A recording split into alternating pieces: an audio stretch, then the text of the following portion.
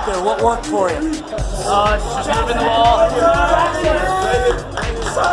Beating the bigs, working, just everything. Or at the end of the game, started off slow, but worked.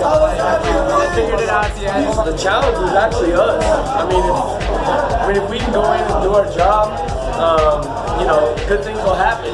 And you know, I mean, George Washington's a hell of a team, and they're well coached. And but if we go in and do our job, I mean, in, in my opinion, I think that. Uh, we just have to understand not to beat ourselves.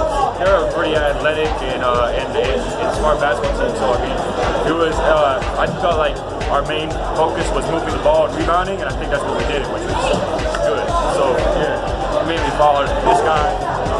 What is it about Turner running your offense? Oh, because he's so unselfish, and then he like he has such good body control in the paint that like no one can block him. Turner behind the back on the fast break.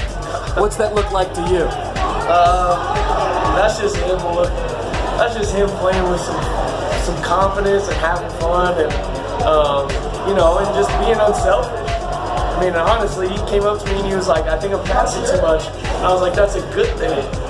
But start being aggressive. That's, that's what he did. Twice in the fourth quarter, they got to within two points. Why was that happening?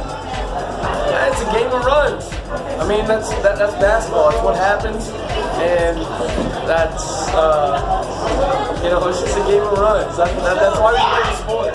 They pressed us, but as soon as as soon as they pre- started pressing us, we, we knew how to handle it. I mean, and, and our guards kind of kept their cool, and I mean that's what they've done in the second half of the season. So that's what they're so good at.